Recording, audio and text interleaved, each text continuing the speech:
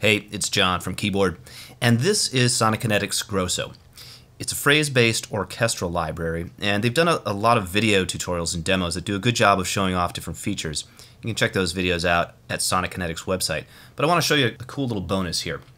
You have direct access to those videos from within Kontakt. If you just go to the browser pane here and click on the I, the information button, you'll see that you can call up all of the tutorial videos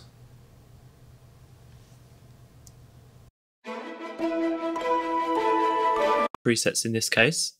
So instead of trying to duplicate what Sonokinetic have done with their videos, I'm going to simply audition some of the individual phrases to give you an idea of what's available in the library, and then I'll show you how easy it is to put together a quick orchestral passage.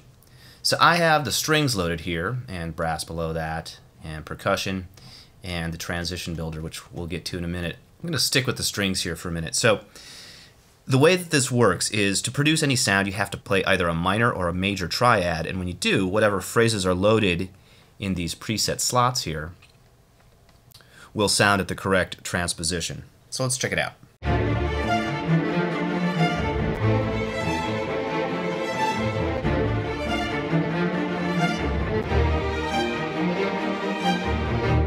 I'm going to mute these two slots here and focus just on this one area. Now, currently the preset is set up with a high frequency or a high register phrase, a mid register phrase, and a low phrase.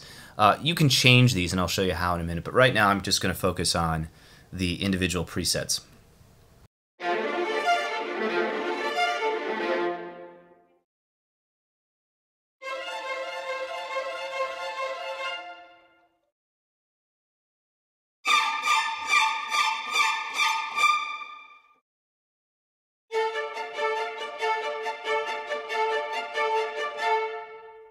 Now these shapes represent the musical contour of the recorded phrases, which is kind of a cool way of browsing sounds. It also means that you don't have to read traditional notation to make sense of the material. But if you do, you can actually see for each of the phrases what the actual notation was for the sampling sessions.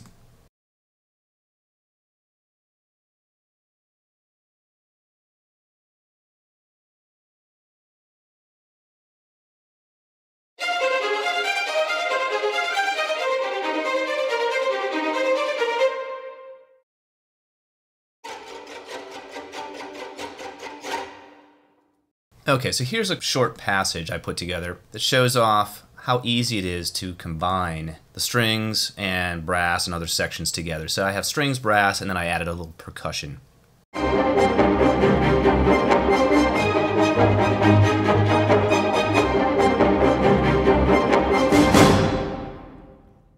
So that's a quick look and listen with Sonokinetic's Grosso. If you have any questions, feel free to email me at the address there, and thanks for watching.